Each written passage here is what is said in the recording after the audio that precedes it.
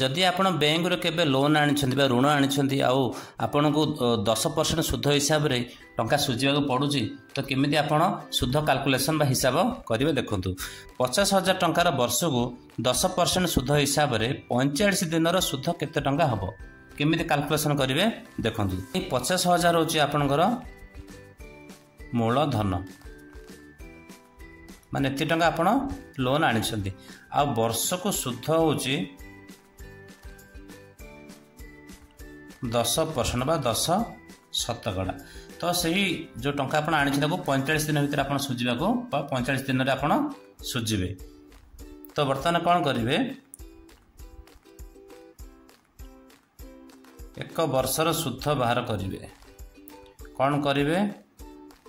ଆପଣଙ୍କର ମୂଳଧନ ଲେଖିଦିଅନ୍ତୁ ପଚାଶ ହଜାରର ଦଶ ପରସେଣ୍ଟ ବା ଦଶ ଶତକଡ଼ା ମାନେ ଦଶ ବାଇ ଶହେ ଲେଖିବେ।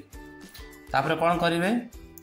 ତଳର ଦୁଇଟି ଶୂନକୁ ଉପର ଦୁଇଟି ଶୂନ କାଟି ଦିଅନ୍ତୁ। ଆଉ କେତେ ରହିଲା ଏଇଠାରେ ଅଛି ପାଞ୍ଚଶହ ଇଣ୍ଟୁ ଦଶ। ପାଞ୍ଚଶହ ଦଶରେ ଗୁଣି ଦିଅନ୍ତୁ। ପାଞ୍ଚ ହଜାର ଟଙ୍କା ଆସିଲା।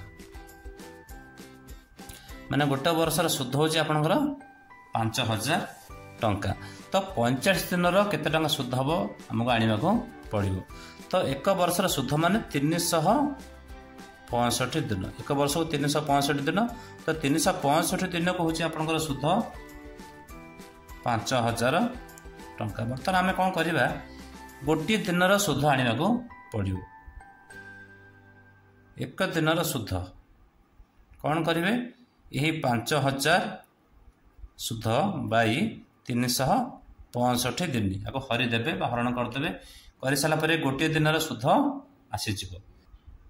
ଦେଖନ୍ତୁ ବର୍ତ୍ତମାନ ମୁଁ କାଲକୁଲେଟର ବାହାର କରିଛି। ଆପଣ କ'ଣ କରିବେ? ପାଞ୍ଚ ହଜାର ହରଣ ତିନିଶହ ପଞ୍ଚଷଠି ଦେଖିପାରୁଥିବେ ତେର ଟଙ୍କା ଅଣସ୍ତରୀ ପଇସା ଆସୁଛି। ତ ଗୋଟିଏ ଦିନର ସୁଧ ହେଉଛି ଆପଣଙ୍କର ତେର ଟଙ୍କା ଅଣସ୍ତରୀ। ତେର ଟଙ୍କା ଅଣସ୍ତରୀ ପଇସା। ତ ବର୍ତ୍ତମାନ କ'ଣ କରିବେ? ପଇଁଚାଳିଶ ଦିନରେ ଆଣିବେ। ପଇଁଚାଳିଶ ଦିନର ସୁଧ। କ'ଣ କରିବେ? ତେର ଟଙ୍କା ଅଣସ୍ତରୀ ପଇସା ଗୁଣନ ପଇଁଚାଳିଶ। ତ ତେର ଟଙ୍କା ଅଣସ୍ତରୀକୁ ପଇଁଚାଳିଶରେ ଗୁଣି ଦିଅନ୍ତୁ କେତେ ଆସୁଛି ଦେଖିବା। ଦେଖିପାରୁଥିବେ ଛଅଶହ ଷୋହଳ ଟଙ୍କା ପାଞ୍ଚ ପଇସା। ତ ଛଅଶହ ଷୋହଳ ଟଙ୍କା ଶୂନ ପାଞ୍ଚ ମାନେ ପାଞ୍ଚ ପଇସା ହିସାବ ହେଲା।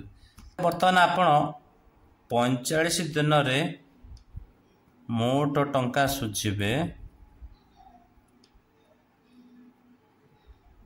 ମୂଳ ହେଉଛି ଆପଣଙ୍କର ପଚାଶ ହଜାର ଟଙ୍କା ପ୍ଲସ୍ ସୁଧ ହେଉଛି ଛଅଶହ ଷୋହଳ ଟଙ୍କା ପାଞ୍ଚ ପଇସା।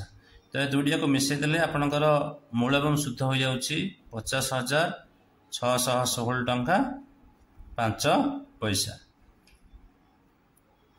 ଆଶା କରୁଛି ଏହି ଇନଫର୍ମେସନ୍ଟି ଆପଣଙ୍କୁ ଭଲ ଲାଗିଥିବ। Thanks for watching